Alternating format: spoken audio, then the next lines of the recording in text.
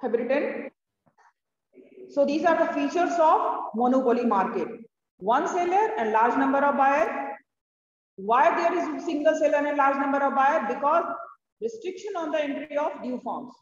Have you written? Show me your copy. Kashish, once again, show me your copy.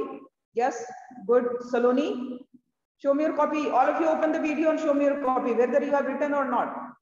Okay.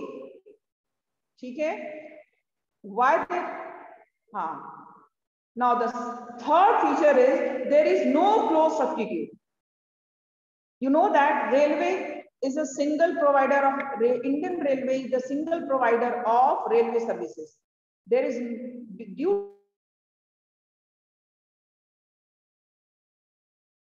to restriction, no one firm will enter in the railway services because there is restriction on entry and exit.